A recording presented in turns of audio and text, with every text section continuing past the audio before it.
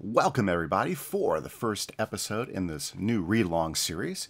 The book we are reading is called The Promise of Blood. It's the first of a trilogy in what we call the Powder Mage series. And this is book one, and it's by a guy named Brian McClellan. Now, if you haven't read this stuff yet, that's great. We're going to try to keep this spoiler free as you read through it. So if you're making some comments, what I'd love for everybody, if you're reading along, or if you're just interested in what's going on, to throw ahead and add some comments in there. But let's keep them spoiler free. So if you've read the series already, um, don't go too far ahead of the conversation as we go through it. We'll be going through it at least a chapter or two at a time, depending on how everything's going. And so we're going to test this format a little. If you guys are enjoying it, I'd love to hear your comments. If you're not a subscriber to the channel and you're enjoying this, I'd love to see you subscribe. So thanks everybody for checking out this first of a new series. And um, I guess we're just going to go get into it. Okay. Now, I'm going to approach this as if we know nothing because even though I've read the trilogy before, I don't know what you guys know. And so it's been a while since I've read it, so I've forgotten most of what I thought of anyway. So it's going to be a great experience as we're going into it. Okay, so The Promise of Blood, the Powder Mage book series. Now, um, what I do feel comfortable saying is that this book series, it, you know, it's um, very steampunkish. Um, think of it being set in kind of like a 1800s series, not quite Victorian England, prior to Victor, um, prior to Victorian. Think uh, like King George or later King George, or during the Napoleonic uh, revolution, the French Revolution type of era. And this could be, and a lot of this area is could be like in Europe. It could be France. It could be Germany. It could be um, Great Britain. But we are based in a country called Adro. Now, this Adro country is surrounded by a full um, a full series of mountains. It has what they call a large sea right in the middle of the area, um, a few different forests, okay? And it's surrounded by some very dangerous um, countries like Kez and Novi that we'll experience at some point. I don't know a whole lot, and there's other parts of the world like Deliv, and we'll and we'll get to know this as we go through it. So um, that's all the background I'm going to give you at this point. Um, we're starting off in the city of Adopest, and um, a couple of points I want to point out to you on the map on the screen. You're going to see a place called the Skyline Palace, and I believe that's where the story starts. So we're going to go ahead and start jumping into this as well. So first off, this is chapter one. Um, beginning, we get we get introduced to this guy named Adamat. Apparently, he is an inspector. Okay, so like I said, this is kind of, uh, uh, um, you know, 18th century modern. So um, he's he, or should I say, a former inspector. Um, we learn that he's an Adopest and Adopest is apparently a little bit, a little bit um, colder than Novi and even Novi's very, very cold. So we're starting out here in a carriage. And apparently, Adipus has been summoned to the palace, the Skyline Palace. And so he's in a carriage and he's going out that way. Now, it's noticed the next character mentioned is a guy named Manhouch, which is apparently the king. And so this is an era where we still have kings and such. And um, this is a, a um, book where we do have magic. So um, the King Manhouch actually has what he calls a cabal. That's a group of of wizards or magic users apparently that he uses to help protect himself. Um, here's a here's a neat little quote. So as Oedipus was going through the streets, okay? Uh, a little part of him, the part that had once been a police inspector, prowling the nights such as these for thieves and pickpockets in dark alleys, laughed out from the inside. Still your heart, old man, he said to himself. You were once the eyes staring back in the darkness. So as he's driving towards the palace, he's knowing it's really dark, it's very creepy. This is an odd feeling in the air right now. Very, very interesting. So when he gets to the palace, they pull him out of the palace. It seems like he feels like the driver was just a little bit rude by telling him to get out of it. Okay, now this palace is very ornate. It's very nice. It's considered the jewel of Adro, and so um, as he's entering in, um, he's noticing that um, he's not fall he's not running across what they call a Hielman, or I guess the Hielmen are the palace guards and stuff, which is um, kind of interesting. Um, there were no footfalls nor fountains running. He heard once that the fountains only stopped for the death of the king. Surely he'd not have been summoned here if Manhouch were dead. So, already he's observing that the fountains are off, okay? And um, usually they only shut that off for the death of the king, and he's wondering, well, certainly that hasn't happened yet. So he's heading in. He runs across a um, another guy, and this guy um, is not wearing the uniform of a Highlandman because the Highlandmans they have tall plumed hats. They're easy to recognize, um, and so he's brought in. Okay. And they're taking him in, and he's dressed like the military, the Adrian military, the Adrian, sorry, Adran, A D R A N military. And they've brought him in, and um, he's kind of wondering what's going on. Now, apparently, Adrian military is run by this guy named Field Marshal Thomas. And so um, they're they're not telling Adamat anything. He's wondering what's going on, and they're just bringing him straight in, and they're sending him into the Diamond Hall where he can go to the King's answering room where he receives visitors and such. Okay. Um, let's see here, and it says here a power struggle. Had the military been called in to deal with a rebellion? So he's already thinking, was there some sort of rebellion? Because apparently he's starting to mention that um, the king is not super highly thought of. He's spent a lot of money on the palace. He's made it very, very opulent. He's protected himself by this cabal of stuff, and there's several. Um, there's several problems within the country, such as the wings of Adom mercenaries, Royal Cabal of the Mountain Watch, or even some great noble families, which could possibly be giving um, Manhouch trouble. Um, the thing is, Manhouch's surrounded by these by his cabal of, of wizards and magic users, which would be very hard to get rid of you know, in, in theory. So, huh, I guess we'll have to see what here is. Okay, so here we go. Now, he entered the diamond hall where the walls and the floor of scarlet, accented in gold leaf with thousands of tiny gems which gave the room its name, glittered from the ceiling in the light and the single lit candelabra. So, once again, very ornate place. As he walks in, a body is laying in the shadows. Adamat bent over it, touched the skin. It was warm, but the man was almost certainly dead. He wore gray pants with a white stripe down the side and a matching jacket. A tall hat with a white plume, we talked about that, right? Lay on the floor some ways away. A Highlandman. The shadows played on the young, clean shaven face, peaceful except for a single hole in the side of his skull and a dark, wet stain on the floor.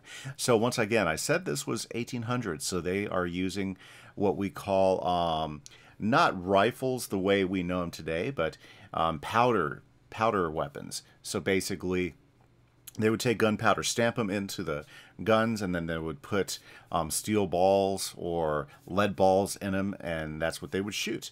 And so um, powder, that's that's what that's the term powder. That's where that's coming from, which I think has something to do with um, the name of the series, the Powder Mage. So we're going to learn more about that as we go on. Okay, so Adamat now feels like he's right. There is some sort of rebellion. We got a we got the Hielmen dead. Maybe the, did they rebel? Um, what what could possibly happen? Is it did the Royal Cabal deal with them?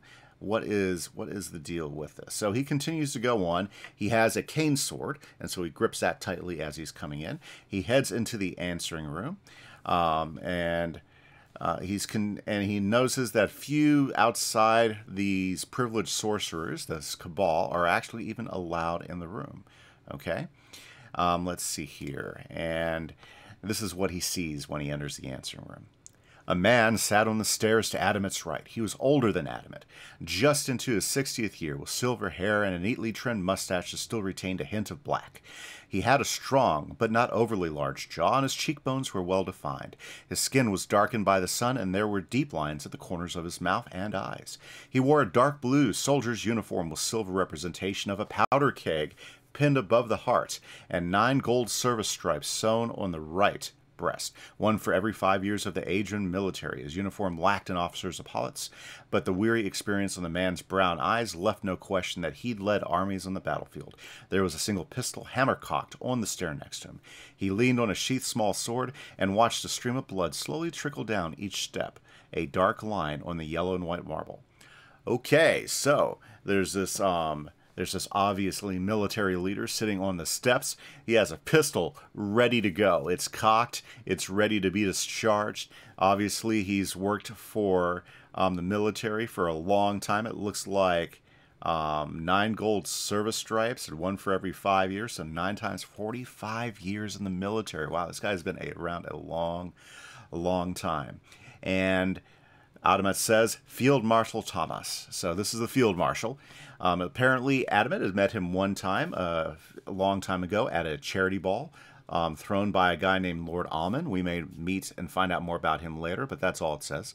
And the Field Marshal, um, you know, doesn't remember him much. He says, I just have a terrible time with faces, okay? So they just have some nice chit chat. And Thomas gets straight to the point. I summoned you on the recommendation of one of my marked. I guess marked is like some of his subordinates, the guys he trusts the most. Senka, he said you served together on the police force in the 12th district. Okay, so we know this guy was named Senka. He served with Adamat on the police force, um, and so he was a former policeman.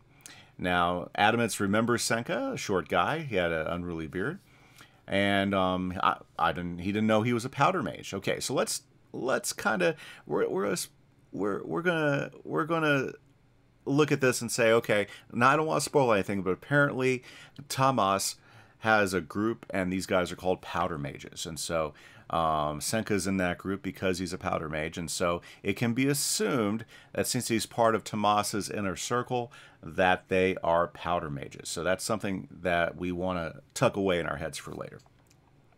Okay, and apparently Tomas says they look for these guys even if they're late bloomers and they don't learn about this ability until later on. Okay, so he wants his help, and apparently the field marshal plus up says, "Hey, you're apparently you were once a fine investigator, a good sort of Adro." Um, and Senka tells him he has a perfect memory, and apparently Adamat he still does.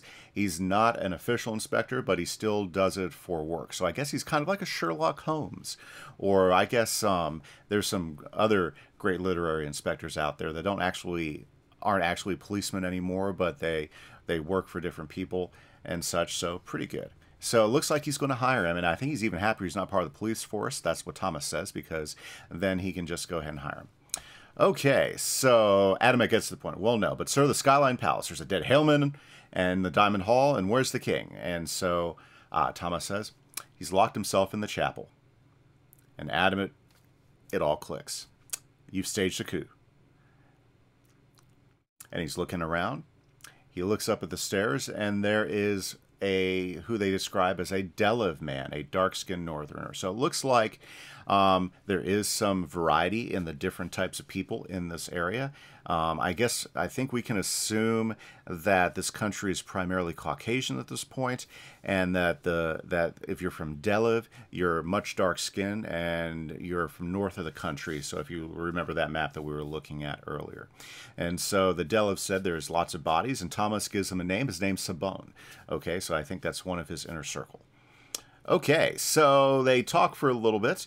Um, we find out that Senka unfortunately died during the coup. We find out that Adamat um, was right. It is a coup, and Tomas staged the coup because there's issues. In fact, what does Tomas say here? Some say the Adran royal cabal had the most powerful privileged sorcerers in all the nine nations. Second to Kez, he said quietly, yet I've just slaughtered every one of them.